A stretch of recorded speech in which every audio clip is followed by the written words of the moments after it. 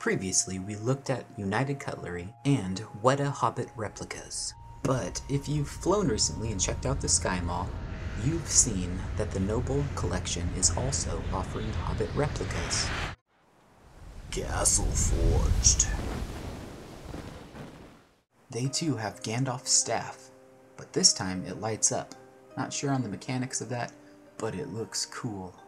They also have a line of full-size stainless steel swords. They have Sting, and also a light up Sting. Okay, glowing Sting, glowing staff. I gotta see these in person because that seems awesome. Thorin Oakenshield's Orcrist, and Gandalf the Grey's Glamdring. Most of these swords come on awesome die-cast metal wall displays. There's also Thorin Oakenshield's Dwarven Sword, which is a unique one, or at least one that we haven't seen the other companies make yet. You can also get them miniaturized as letter openers. They even have that unique Thorin Oakenshield's Dwarven sword miniaturized. Or you can just get all three. The key to Erebor is also back, but this time it comes with a map and is on a plaque. There's a lot of jewelry, some of Galadriel's, the One Ring, and Elrond is decked out.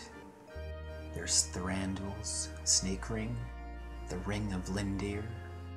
Thorin's ring is back again with some variations, and he has a beaten band that I haven't seen before with interesting markings.